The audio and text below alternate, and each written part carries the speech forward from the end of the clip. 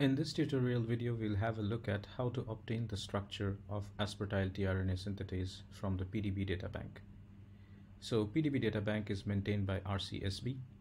You can use the link that I have provided in the slides or you can directly go to Google and just type RCSB PDB which will bring you to the first hit there and that's the home page for the protein data bank.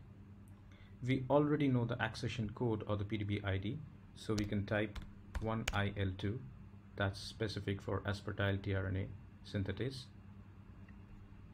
Click on the link and it leads you to the structure summary page where you'll find a lot of information about the structure. So on the left there's a representation for the biological assembly and then on top you have the PDB ID and then the description of the complex followed by the experimental method that was used to solve the complex that's X-ray diffraction and the resolution is 2.6 angstrom. At the bottom of the page you will have the publication that led to the solution of the structure. There are other informations as well like 3D view and annotations and experiment that are the specifics for the experimental method that was used to solve the structure and the sequence information as well like the secondary structure where are the domains for the secondary structure and what do they mean so first we'll go ahead and download the file in the PDB format. So we click on download files and go to the PDB format. Once we click on it, it will ask you to save the structure in a certain directory. The directory that I have here is the workspace one that's specific uh, for, for this tutorial. So I've made separate workspaces, which you guys should do as well. And it will be very handy to, you know, keep a record of everything that you're doing out here. So we'll go along and save it. And as you can see, it automatically recognized the file format as .pdb.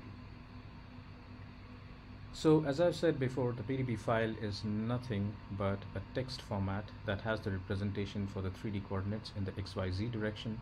So we can actually open that file in the text editor. So you can use your favorite text editor to open the file. We'll just have a quick look at the structure and the editor that I use out here is specific for my system in Mac that's called GVim but you can also use uh, notepad in Windows to open the structure. Use my command line interface from the terminal which will open the file in the text format. So as you can see there's this header information title compound source author experimental data and the remarks for the structure specific domains specific regions treasure trove of information which we'll go through in detail in our characterization tutorial that we'll have for the next week. Specific for the X-ray crystallography.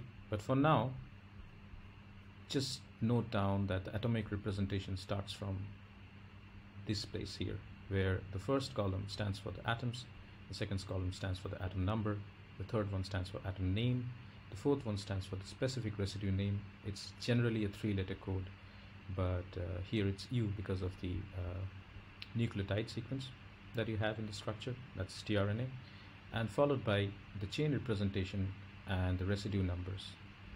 This is further followed by the 3D representation of the structure in the XYZ coordinate. So these are the X coordinate, Y coordinate, and Z coordinate.